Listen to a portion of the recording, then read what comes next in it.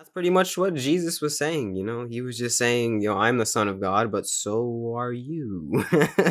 and that's the whole basis of his teachings. I'm actually I have this book right here that I'm reading. It's The Yoga of Jesus, which is by Yogananda. It's it's a great book.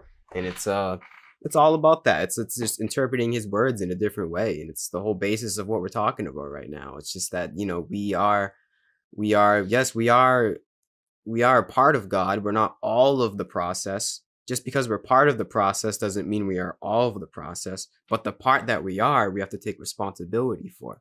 Yeah. Yeah. Oh man.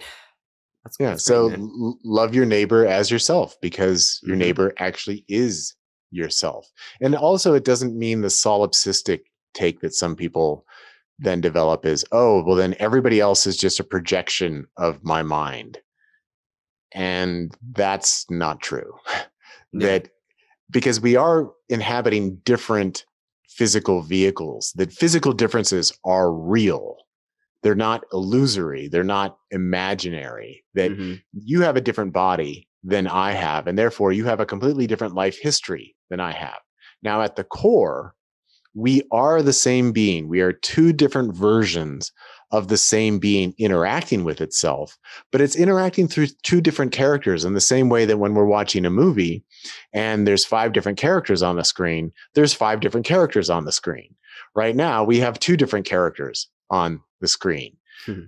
It's the same actor playing those parts, but we live through the character. Yes. And that I I will be in the Martin character until the day I die and then the Martin character is gone, just it just doesn't exist anymore. And you're going to live through your character. You're going to live through the Gary character until the day you die, and then boop, the Gary character is gone because the vehicle is gone. And then you know certain iterations of the Gary character might live on. Like this is going to be on the internet. Who knows how long the internet will exist? But I'm sure that you know the interviews that we've done will continue to exist on the internet after we're dead and gone. And so aspects of the character will still remain. And then people will have ideas and impressions and internalize aspects of the character. So it's it's more than just the individual that we are, but the only we, we're not responsible for the rest of that. You know, like an example is a lot of people have really internalized me at this point. Um, you know, I've been doing interviews for years. I've been doing my podcast for years. I've been writing books for years. And so every once in a while, I'll get an email from someone saying, Man, I was on a psychedelic trip last night and you showed up and you were kind of giving me the same instructions that I've heard you say in interviews and you're giving me guidance. And they want to know, they ask me, like, so um, what were you doing at like midnight last night? And I just tell them, well, look, I was asleep. And they're like, no, no, you were really there. And I have to tell them, no, that that's your internalized projection of me. That that's I am not personally involved in that in any way. That is that is your projection. So we all live with projections of other people um, all the time. Like we we have projections of who we think our parents are, or who we think our significant others are or our enemies and our friends, you know. Mm-hmm. So we live at these projections, but the projections are different than the actual person themselves. And so it's I definitely do not promote a solipsistic view of like, well, everyone's just a figment of my imagination. But no, it, it doesn't work that way. And I, I always like to emphasize that reality is real. And that's another place where you know, in, in certain non dual Buddhist and Hindu teachings, they always describe reality as Maya, as an illusion. And I always like to say, well, it's an illusion, but it's still real. So don't think that just because it's not what we think it is doesn't mean that it's not there because energy is real. Mm-hmm. Transformations of energy is real. And that's what reality is made out of is, is energy. Um, it might not be what we think it is. It might not be what we project it as, but it, it's still real. So yeah. we are real different individuals. but again, at core, there's only one actor who's playing all the parts simultaneously. Yeah. And so that, and that's who we really are. Yes. Just you have to just realize that's just part of the game. That's just the game of life. We're, we're, that's kind of why we're here. We we're we are the one expressing itself in a multitude of ways, and that's just life. I don't know why. I don't know why. I don't know. Maybe it's just for fun, but yeah, we are just the one singular consciousness. We are just infinite consciousness. expressing itself.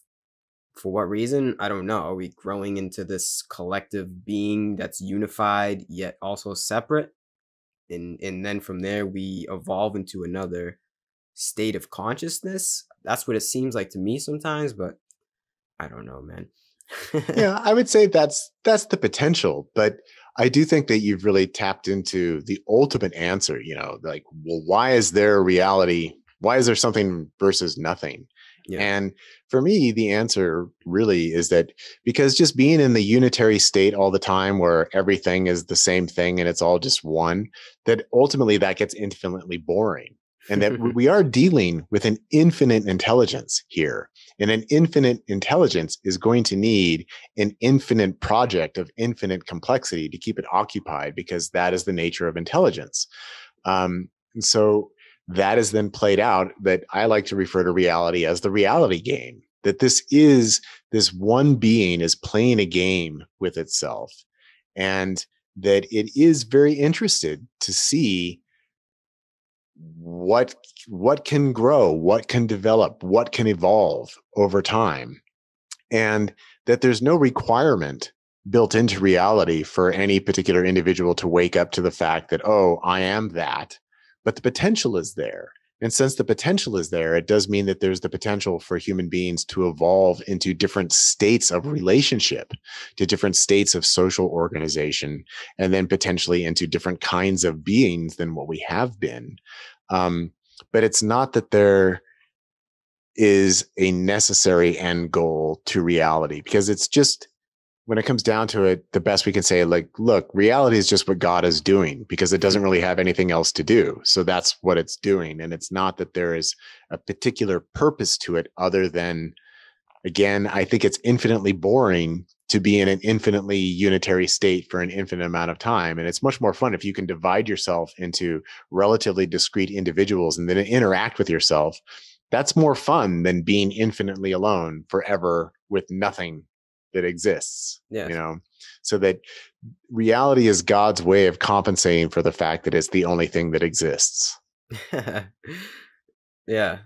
That's a that's a kind of harrowing thought to you know that it's i've had people tell me that before They're like oh it's scary man like that i'm the only thing like you know i've had people it was actually some guy that did dmt and he was talking to me and he said yo man like i got really scared knowing that like i'm alone. I'm the like i'm the only thing. And i was like yeah we're alone but we're alone together if that makes sense. Like like we i guess we we are we are one thing but we're also not at the same time and that's the beauty of life. I think that's what just like just that idea to me is a beautiful thing. Like yes we are alone but not but also not at the same time you know?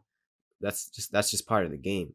And i don't know he just got like really he internalized that like that loneliness we just talked about and yeah know. well so, that's that's another one of the ways that the ego tries to come to terms with this reality. So, you know, we've already talked about that there's there's the solipsistic view, like, oh, everybody's just a figment of my imagination and a projection, or there's the messianic view, oh, I really am the one, so it's all about me. And then there's also the the overcompensation of all oh, crap, I'm responsible for everything because it's me. And then there's also this potentially terrifying sense of loneliness that can arise from that. of like, oh my God, I'm the only thing that exists. I'm the only one that exists. And that's still the ego contemplating the non-dual reality because mm-hmm. what the mm-hmm. ego is then forgetting is like oh wait but i'm still inhabiting my personal meat suit and i still have my dog and there's still my mm-hmm. cat and there's still my neighbors and so yeah there really is only one but there's also billions of other people here who are also part of this oneness at the same time yeah. so yeah at the deepest existential level we are completely alone but at the practical level we're not and mm-hmm. it's never going to be that way. So again it's it's the balance between the two. It's yeah. the, what the difficulty is when someone spills so far over into one or the other then they're no longer living in balance. And and this has also been my critique of the meditation and monastic traditions is that there they really do seem to be promoting this idea of well reality is all an illusion so you want to transcend it and the way you can transcend it is actually by spending the rest of your life meditating and engaging in life as little as possible and don't ever get married and don't have sex and don't have kids and don't have a job. You know you've just got to you just got to meditate and be a monk or a nun and that seems to be an avoidance of kind of the messiness of the interrelated nature of reality. Now it's you know perhaps necessary to help people achieve that non-dual state through the meditation process because it's long it's slow it's arduous it's not particularly effective you know especially when compared to something like psychedelics or 5meo dmt in particular. Um, but it does also promote sort of a, a disassociation from reality i think.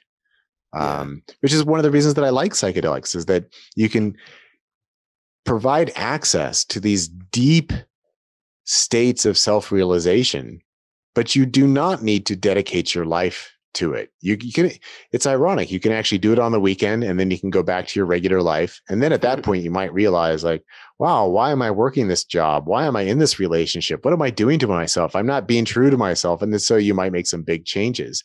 But I'm really interested in helping people be fully realized into the full non-dual nature of the self and then also again take responsibility for who they are as an individual so that then they can live the fullest life as themselves free from their internal critic and internal judge that we have absorbed from our society, our parents, our religion, our spirituality, our economic status, you know, all of mm-hmm. that stuff that we've internalized that tell us whether we're good or bad or right or wrong. So for me, it really is about this process of helping people liberate themselves. But it's not so that you can liberate and ascend to the highest realms of the astral plane and check out of reality. It's actually it's liberating so that you can just be here and then be yourself and then live a fulfilling and meaningful life from that place.